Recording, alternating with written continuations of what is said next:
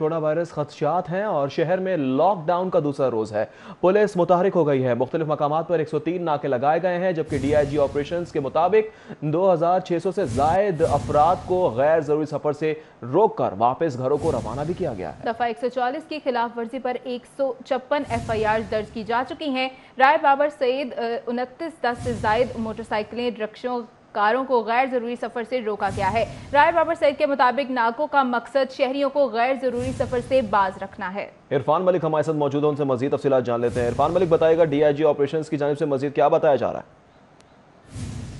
بالکل کرونا سے بچاؤ کے حوالے سے حکومتی اقدامات جو ہیں وہ تو کیے گئے۔ اور اس حوالے سے اگر لاہور پولیس کی بات کی جائے تو لاہور پولیس کی طرف سے گزشتہ روز جو اقدامات کیے گئے تھے اس میں ساڑھے پانچ ہزار سے زائد افراد کو ناکوں پہ روک کے واپس گھروں میں بھجوایا گیا۔ اس حوالے سے سی سی پی او لاہور ذوالفقار حمید کا یہ کہنا تھا کہ لاہور پولیس نے جو ناکہ بندی کی، اس میں قانون نافذ کرنے والے ادارے جو ہیں، ان کے اہلکار بھی موجود تھے اور اس دوران ساڑھے پانچ ہزار سے زائد افراد کو گھروں میں واپس بھجوایا گیا۔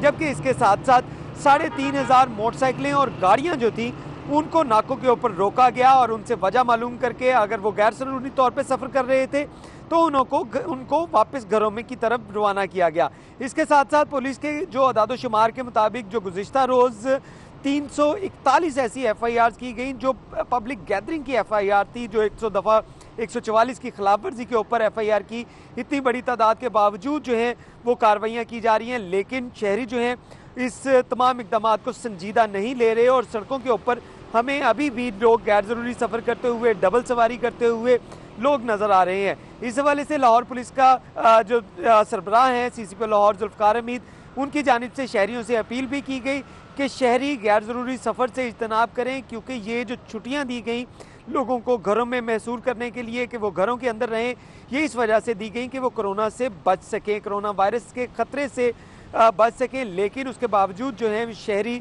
سڑکوں کے اوپر آ رہے ہیں۔ جی۔ غیر ذمہ داری کا مظاہرہ کر رہی ہے عوام سڑکوں پر نظر آ رہی ہے۔ عرفان ملک ہمیں تفصیلات سے آ کر رہے تھے۔ بہت شکریہ۔ آگے بڑھیں گے اور آپ کو بتائیں کہ کرونا وائرس کا خطرہ لاک ڈاؤن کو یقینی بنانے کے لیے سخت اقدامات شروع ہے غیر ضروری آمد و رفت روکنے کے لیے شہر کے چودہ داخلی و خارجی راستوں پر ناکہ بندی کی گئی ہے۔ پرانا راوی پول اور نیو راوی پول محمود بوٹی روڈ اور سیالکوٹ انٹرچینج پر نفری تعینات کی گئی ہے۔ مزید جان لیتے ہیں۔ آبی چودھری سے آبی چودھری بتائے گا۔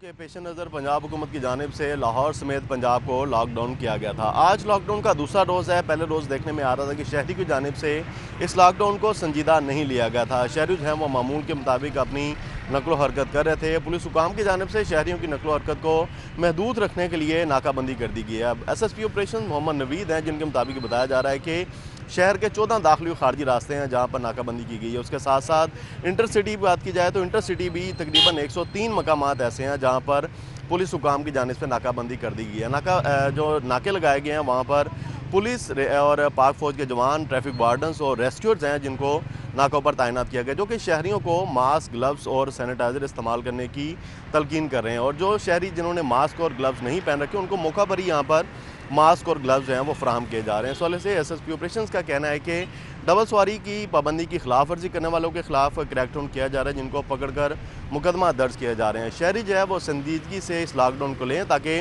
اس موزی وبا سے بچا جا سکے۔ اس والے سے ایس ایس پی آپریشن کا یہ بھی کہنا ہے کہ دفعہ ایک سو چوالیس کی خلاف ورزی کرنے پر بھی سینکڑوں مقدمہ درج کر لیے گئے ہیں۔ البتہ شہریوں سے بارہا یہی تلقین کی جا رہی تھی۔ اپنی نقل و حرکت کو محدود رہیں تاکہ اس وبا سے بچا جا سکے۔ اس والے سے ایس ایس پی آپریشنز کا یہ بھی کہنا ہے کہ شہریوں کی صحت کو ملحوظ خاطر رکھتے ہوئے ناکہ بندی کی گئی ہے تاکہ شہریوں کی نقل و حرکت کو محدود کیا جا سکے۔